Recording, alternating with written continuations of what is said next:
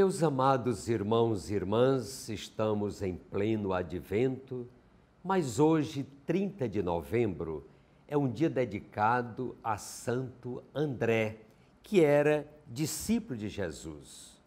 Vocês se recordam que André foi chamado por Jesus lá no mar da Galileia. Ele era pescador e irmão de Simão Pedro mas, sobretudo para nós, ele é um apóstolo. E o que é o apóstolo? É uma coluna da igreja. Jesus Cristo fundou a sua igreja sobre os doze apóstolos. Eles são indispensáveis na vida da igreja. Nós não podemos perder de vista os santos apóstolos, e entre eles, Santo André. Mas hoje, como é que nós vemos o apóstolo? Onde ele está?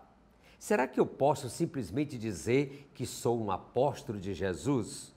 Talvez numa linguagem figurada e muito figurada, porque para nós hoje, cristãos católicos, quem é o sucessor do apóstolo são os bispos.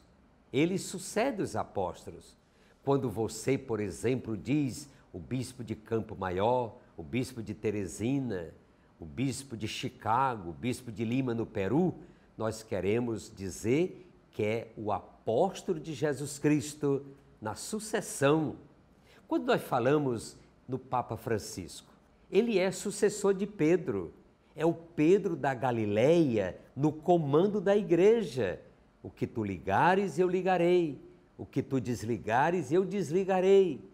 O bispo para nós não é o administrador apenas de uma igreja, não é o chefe de uma comunidade religiosa, ele é o apóstolo de Jesus Cristo que nos confirma na fé, que nos aponta os caminhos da salvação.